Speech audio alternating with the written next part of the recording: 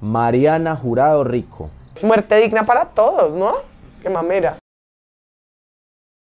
Restaurantes con menúes en QR. Ni me lo digas, weón, que peleé en un restaurante. O sea, el restaurante estaba Deli, uno de los pocos de Medellín que no es tan aspiracional como todo Medellín. Yo llegué, tenía un guayabo muy asqueroso y me recibe obviamente el código QR y yo tenía una espinita que estoy que le digo a 500 restaurantes, por favor, dejen de ser elitistas y pongan una hijo de puta mierda para alguien que de pronto no tiene celular. O pilas en un Madrid que le parece más grave que no tener celular. Total, es para cambiar los precios. Me parece que como que agranda más las brechas indiferentes y la gente que puede acceder a los restaurantes. Me da rabia, weón. Me da rabia, me da rabia. Imprímanla y plastifíquenla y échenle alcohol. O sea, se echan alcohol hasta en el culo, weón. Le doy un cero. Chucu Chucu. Uf, el chucu chucu es espectacular, ¿no? O sea, el chucu chucu es una delicia. Aparte, el chucu chucu permite como que mm, todas las mamás divorciadas bailen cuando disfrutan solas y hagan como... El chucu chucu es un gran género, es extensivo, es democrático, como que cualquier cosa puede entrar en el chucu chucu. O sea, salsa romántica puede entrar en el chucu chucu, merengue puede entrar en el, en el chucu chucu. El chucu chucu en sí mismo es algo como cariñito, es como chucu chucu total. Pero yo creo que el chucu chucu es como identidad colombiana 10.10, o sea, el himno debería ser en chucu chucu, siendo muy honesta como la tradición musical colombiana. Oh, gloria y mar sensible. El chucu chucu es como la forma de la gente montañera de acceder a la tropicalidad. Primero, un- costeño ni siquiera puede decir chucu chucu sin que le dé un, un surmenage. Un costeño dice. Marica se muere, les da una apoplejía. Le daría un 10, sí. Astro World. A mí me parece que lo de Astro World solo es gente en pandemia, muy, de un país muy loco, viviendo como un montón de hype, porque es que si hay algo maluco en la vida es ser gringo, weón. Uno podría hacer cualquier cosa menos gringo. O sea, yo que imagínense uno ser gringo es como, uh, entonces pues esa gente se muere. Los gringos están en un desparche berraco, tienen una crisis de identidad densa. Obviamente en Astro World estaban buscando el éxtasis y además de todas las drogas son ilegales y criminalizadas en la mayoría de estados. Que te cogen con una pastilla de éxtasis o con un moño de marihuana, te joden, te meten a la cárcel. Entonces imagínense uno ser de ese país que además de todo se jacta de ser tan progre y liberal. Y es como no lo es. Pues uno se va a Astro World ahí a un poco de rush. Además de todo se muere y la opinión de que uno se murió está en las putas Kardashian. Si es maluco cuando alguien se orina o se embola. Imagínense a alguien muerto y un niño muerto. Los angelitos del cielo. Cero, weón. Pero Travis Scott es buen cantante. A mí me divierte. La cagó metiéndose con Kylie Jenner y procreando a Tormenta. Además de tocar Kylie Jenner, o sea, va a ser una cuarentona como horny cuando Stormy tenga 20. Todos esos pornos de me comía la mamá de mi novia va a ser Kylie Jenner con los novios de la pobre Stormy. Seguro va a ser una mamacita porque Travis Scott es un papacito total y pues Kylie Jenner también. Pie de atleta. Eso es una gonorrea, weón. A mí nunca me había dado un hongo hasta que llegué a Holanda, que es debajo del agua. Entonces está lleno de humedad y dan muchos hongos. Y eso a uno se le raja el pie, una gonorrea. Hagan una tarea y métanse a buscar pie de atleta en Google y eso es una gonorrea. Eso es como un pie abierto, una ceba y así estaba yo. Y me sentía como, como tenía shame de mi pie de atleta. Entonces en verano no podía usar eh, chanclita ni nada. Marica, además huele a mierda, weón. Huele a coño esa vaina y resiste. No, me tuvo, tuvo que mandar Canestén de Bogotá. Crema de hongos para, para el chocho, hace también Canestén. Y todas las propagandas como de las cremas de hongos para la cuca son como unas situaciones donde una mujer se tiene que rascar el coño en el día a día y es como mi mamá me enseñó a rascarme la cuca sin que la gente se diera cuenta y era como caminando y haciendo un saltico. Uf, era demasiado bueno. Un, dos, tres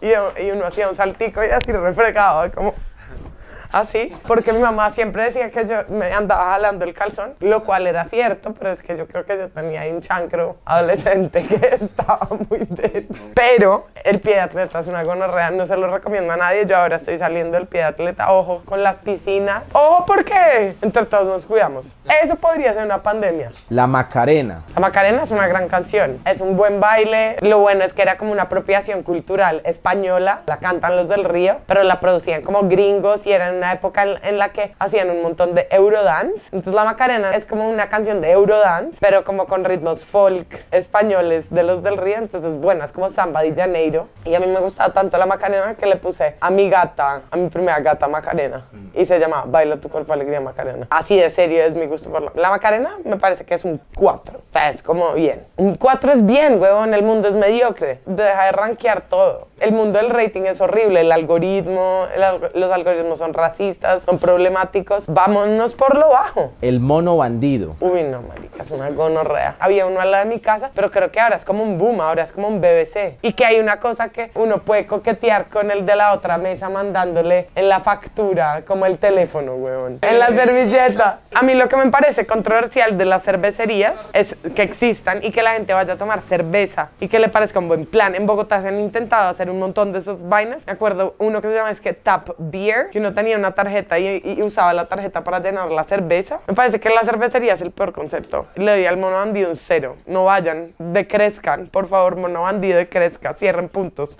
Un punto está bien, quédense bien, pero ahora tienen... Y que tienen un punto al lado de la casa de mi mamá, que es como el vortex, weón. No amo que la gente emprenda, odio a los emprendedores, pero no me gusta que crezcan de esa manera. A gente que le sirve ir a tomar cerveza cara. Bueno, y además de todo, coquetear en Bogotá, que es como, uy, fuerte. Además, la gente es como toda rola, no mal, yo soy rola, pero son como todos fríos, incómodos. El año viejo. Me parece lo máximo el año viejo. Además de todo el año viejo, tiene como algo increíble, que es como el ritual del fuego y hacer ese humanoide, como que queman. A mí me parece brutal y hay una obra de un man que me gusta un montón, de una, pues no me gusta un montón, pero es un artista que me parece una chimba. Es un video larguísimo donde quema años viejos. O sea, yo siento que el año viejo es una representación muy brutal de cómo nuestra relación con la muerte y el pasar a otra cosa y el tratar de hundir los años. Y también es súper violento el año viejo, ¿no? Ah, pero el año viejo es severo. Deberíamos quemar un año viejo este año. Este año ha sido una gonorrea. Al año viejo le daría un 4 también. No,